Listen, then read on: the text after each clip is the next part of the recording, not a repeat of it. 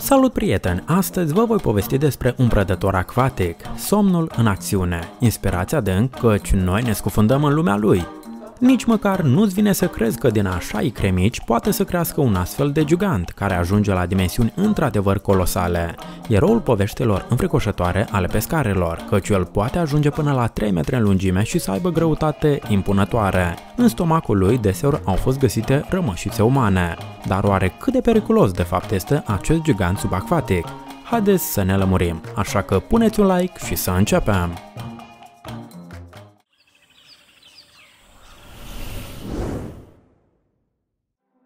Somnul, într-adevăr, este unul dintre cei mai mari pești de apă dulce. Există un caz documentat, un gigant de 306 kg în vârstă de 80 de ani. Acum însă puțin probabil să întâlnești așa exemplar. Chiar și somnii de 100 de kg se nimeresc extrem de rar, dar poate mai bine, fiindcă este un pește extrem de puternic și încăpățânat. Corpul lui este creat pentru smuncituri puternice și somnii folosesc asta în timpul vânătorii. Corpul lung al peștelui, mai aproape de coadă, are o formă aplatizată, ceea ce în combinație cu coada puternică îi oferă o putere incredibilă. Și peștele se folosește cu pricepere de așa vâslă, dacă are nevoie să se scufunde rapid în apă. Este un pește de adâncime, care petrece timpul liber sub pietre sau cioturi scufundate. Din aceeași cauză, culoarea peștelui este maro cu pete întunecate nu prea mari, ceea ce îi permite prădătorului să se deghizeze foarte bine în orice tip de relief. Printre plantele subacvatice, doar mustața îl trădează. Somnul poate pur și simplu să se odihnească pe fundul apei și poate fi confundat cu un buștean, doar că acest buștean, în caz de necesitate, poate să se miște și destul de rapid,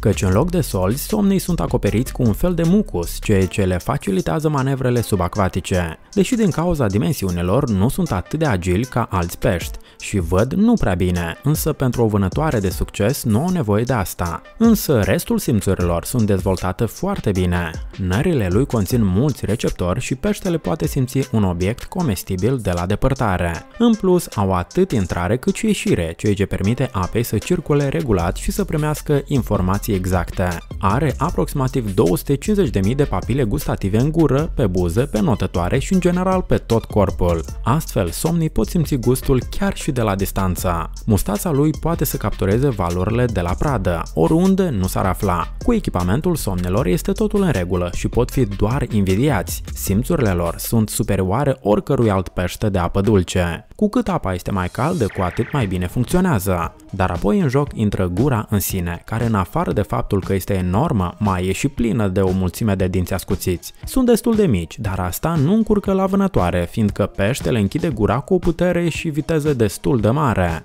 El face mișcări de la aspirație cu fălcile și produce o pocnitură rapidă, încât să scap din gura lui e aproape imposibil. În realitate această pocnitură arată foarte teribil.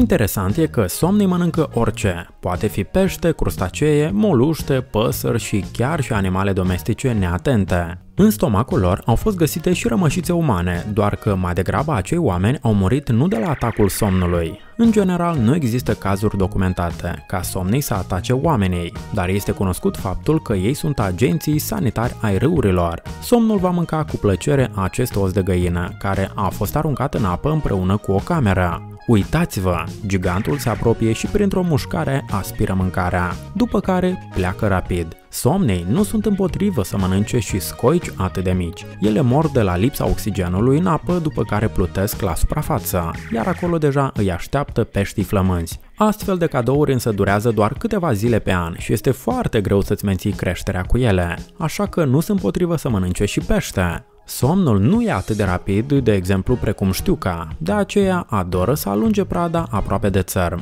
Ei pot vâna chiar și în echipă, formând un perete din somn în mișcare, doar că nu au coordonare și fiecare acționează pentru sine. Asta reduce un pic eficiența, dar oricum e mai mare decât în cazuri singulare. Acești porumbei vin la râu ca să bea apă și să facă baie, dar vânătoarea a început deja. Dacă unul dintre ei este neatent, din apă apare o gură larg deschisă. Porumbelul într-o secundă dispare în gura somnului. Peștii adesea așteaptă așa păsări neatente și chiar dacă somnul apucă pasărea doar de labă, oricum ea nu va putea să scape. Așa locuri deseori sunt protejate de somn de alți concurenți. Unii dintre ei au început să se specializeze în porumbei, care constituie 80% din dieta lor, dar așa vânează doar prădătorii nu prea mari.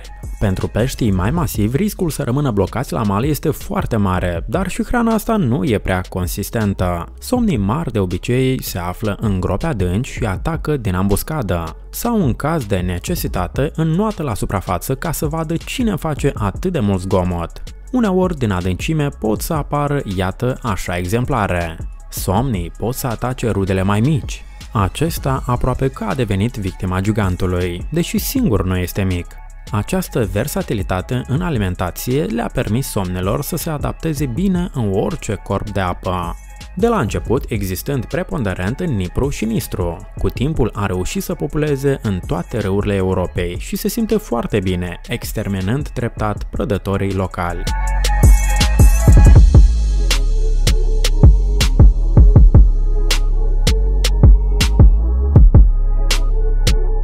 Capitolul fertilitate, la fel stau foarte bine. De exemplu, femeia depune 25.000 de icre la 1 kg de greutate corporală. Desigur că nu toate se vor dezvolta și mai puține vor trăi până a deveni pește adulți, dar se reproduc somnii destul de eficient. Interesant că după depunerea icrelor, femela pleacă, iar urmașii sunt păziți de către tată. Tinerii somni deseori trăiesc împreună, doar până la vârsta de 4 ani. Ei sunt nevoiți să se despartă fiindcă devin mai mari și au nevoie de mai multă hrană.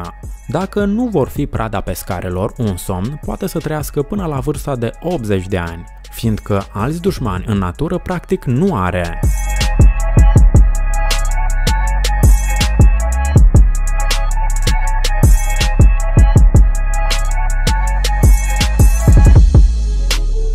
Iată așa uimitor s-a dovedit a fi acest pește de apă dulce.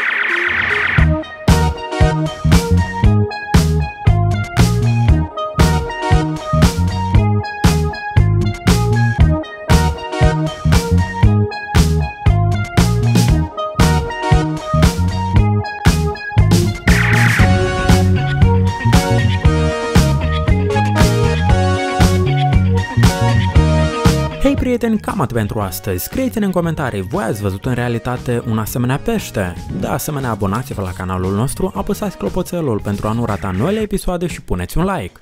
Pe curând!